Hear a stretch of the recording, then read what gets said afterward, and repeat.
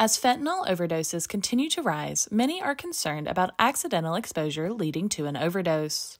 I spoke to Public Health Director Tammy Riley to learn the truth and risks of accidental exposure. Fentanyl is a very powerful uh, opioid drug. Um, you know, we find fentanyl, you know, as used illicitly on the streets. Um, sometimes contaminated in other um, drugs. Um, recently, there's been some concern about fentanyl in uh, a commercial setting uh, for um, certain employees who handle currency or have a lot of physical touch exchange uh, with the public. And uh, we just wanted to address, you know, uh, fact versus fiction with fentanyl and um, where the dangers are and where they are likely not.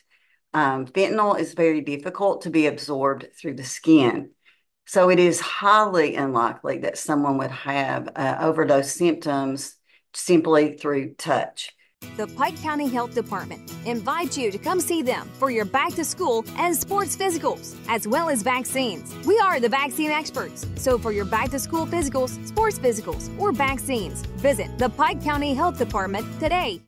While fentanyl is the primary cause of fatal overdoses in the United States, there has never been a reported case of an overdose from simply touching the substance, whether in powder or pill form.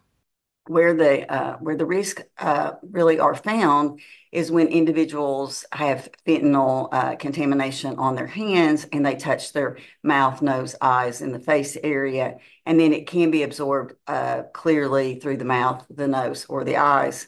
So uh, individuals, you know, who are working in the public, just wash their hands frequently. And alcohol and other chemicals based in hand sanitizer can actually cause uh, a quicker absorption of fentanyl.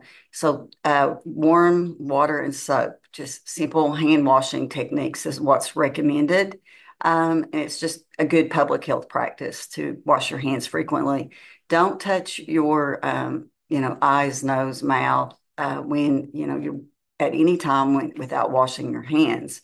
But certainly if you're working in the public and, and there's a high touch, you know, areas um, or an exchange with the public. For more information, go to Pike County Health Department on Facebook. Reporting for Mountaintop News, I'm Brianna Robinson.